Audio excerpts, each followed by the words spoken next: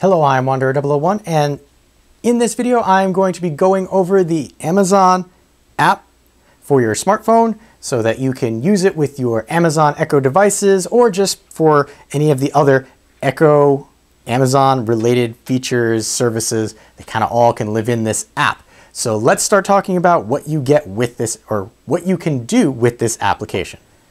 All right, so when you first open up the Amazon voice assistant's name, who shall not be named, it brings you to this homepage. We are here located on the left-hand side. You'll notice that there are icons along the bottom. We will be going across them, but landing you on the homepage, it's kind of like a here's what's happening currently. So you can see today is Monday, November 19th. Here is the current weather. Swiping up, here is trending news. Again, things to try, swiping up, discover skills, getting started, skills, continue listening to, continue listening to, to-do list, and so on. So that's the end of this particular area. So this is the Reader's Digest of what you might be interested in. Coming across here is your messages. Now I am covering up my name right there. Uh, you can see data was added. Here you will see if you've gotten any calls, messages, or drop-ins on your Echo device. So here you can see, yeah, yeah, make call, yeah, yeah, message, play message. All of that information can be found here uh, under the communication. So you see up there, you got a little, if you tap on that little person, it will actually open up your address book. So it won't be doing that. Coming across to the bottom here, we're going to click on the name that shall not be named. Uh, this will allow you to use your phone to actuate the assistant if you don't have a smart device. I do not need that, so I will not be doing that. Music and books, you can see here, recently played going across the top, shows you things that you have recently played. Uh, you can browse for music from this location and just keep scrolling and it will give you ideas of things that you may or may not be interested in based on what it thinks you might be on what you have looked at. Now, this last bit here is the newest bit, and this is for the home automation uh, because they are really gearing this towards being a home automation hub unto itself. Going across the top here, you can see devices. So here it will show you all of my echoes as well as the speaker group that I've created for the echoes, uh, the light that I have, the plugs that I have, and whether they are in a on or off state.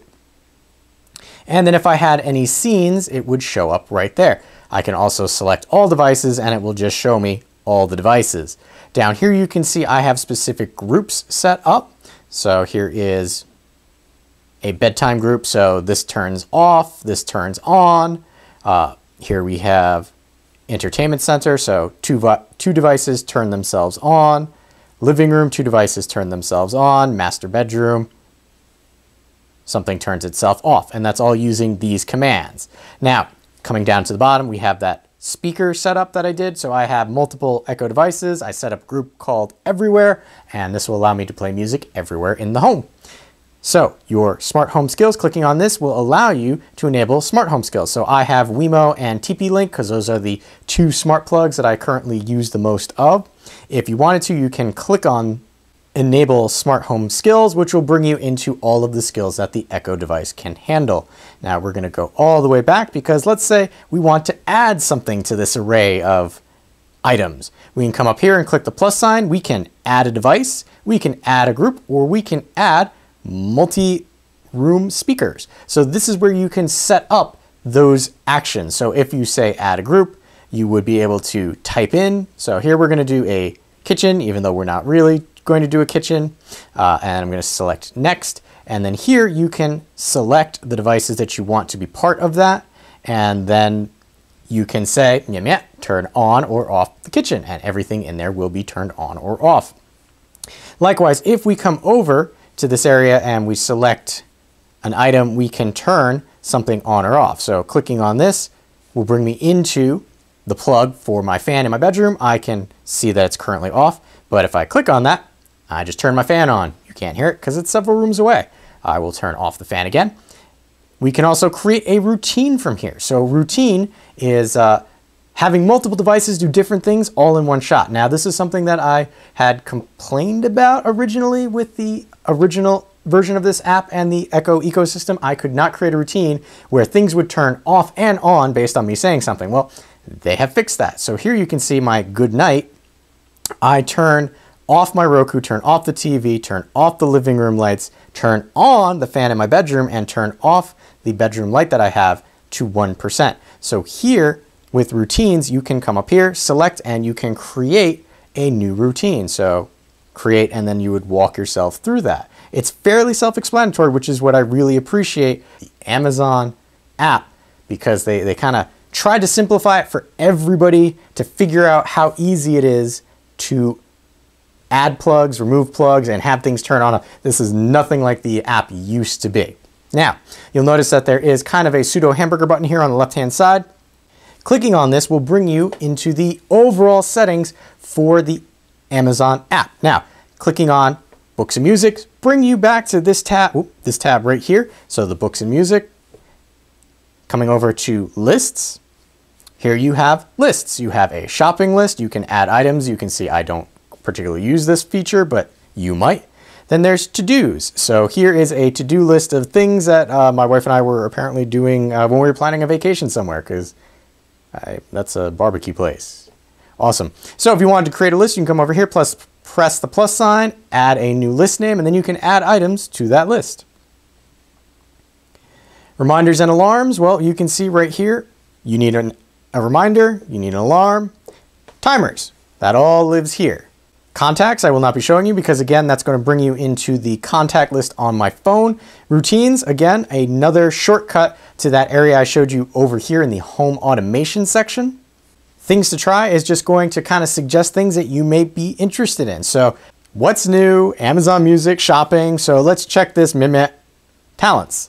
So here it's going to show you, hey, if you do any of these, it will have it start doing something. Uh, I'm not going to have it start doing something because I triggered it originally when I was trying to do that. Uh, similarly with weather, you can select on weather and it's like, hey, what is this? So it's kind of like, hey, what can this thing do? So skills and games, again, it's going to be a laundry list of skills and games that you can add to your Echo. Uh, they live in the cloud because they live in the app. I'm not gonna lie, 99% of the skills are pretty much worthless. Once you get your core set of skills down, you're not gonna be going in here all that often. Occasionally, the Echo will suggest a skill based on a news feature of the day, and you can just say add to my Echo, and it will add that skill automatically without having to come through here. Once I had my home automation skills and a couple of other core skills set up, I don't even bother coming here anymore. So here, if I click on your skills, it will show you 23 enabled skills, five just updated and two that need attention. So if I come over here, these are two that I kind of abandoned. I don't really care if uh, Fitbit has access to my Echo. And this Ask My Buddy is something that I was originally looking into for my parents. I don't use it. So here we've got just updated, and that'll show you all the things that are just updated. And if we come back here, enabled skills, all the listing of skills that I have. So, activity. This is showing you everything that's happened with your Echo device. So I asked it to set a reminder. I've asked it question of the day, question of the day. If you select more, it will say, hey, did you find this useful? You can play back the voice recording if you wanted to. Help and feedback, well, that's just it. It is help and feedback for the Amazon app here.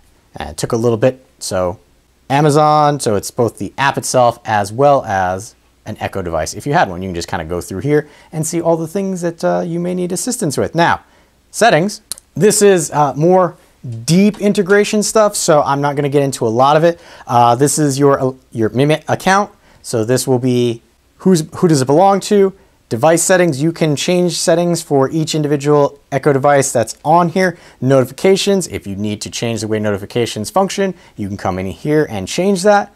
Communications, uh, again, this is going to tap into your address book as well as it does have Skype integration if you wanted to use that.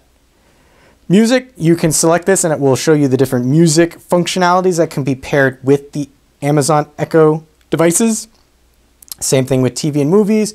Flash briefing, you can set up a trigger phrase for blah, tell me flash briefings. And these are the items that I have set for flash briefing. I have NPR turned off right now, uh, but you can also click on that plus sign and you can add.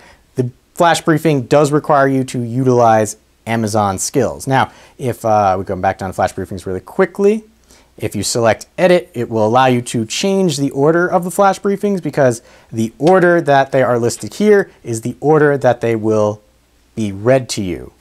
Moving past flash briefings, if you have devices that have free time, you can set that up from here. So it's pulling in all of these uh, Amazon services into one key location for you. So we're gonna go back to settings, traffic. Traffic I won't show you, but if you set up your home and workplace, this will allow you to have the travel time between the two stated to you from the Echo device. Sports, if you had sports teams that you wanted to follow, you can put them in there and just ask the Echo about them. Calendar, again, you can plug in your calendars into here and have the Echo devices tell you about your calendars.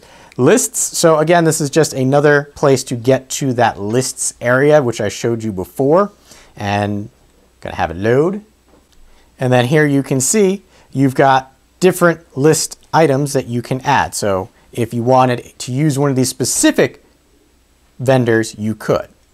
All right, hunches is kind of like if you, uh, you can read it there. It's pretty much if your light is on longer than you normally leave it on, you can ask the Echo for hunches and it will kind of tell you, hey, this is on, maybe you want to turn it off. About is just that. It's about the, the Amazon app and gives you other information. And last but not least down there is the name of the person who the account uh, belongs to. Coming back up here, the, the Alexa account area will let you have recognized voices. So if you have multiple people on this account, it will, just like the Google Home, now start recognizing different people's voices as long as their account is actually synced to the Echo device. Voice purchasing, you can purchase things through your Amazon Echo and this is how you would do it. Uh, if you do enable this, I highly recommend that you put on the voice code so that, you know, even if it recognizes the voice, it will not purchase something without you, you know, just having a kid drop something into your shopping cart.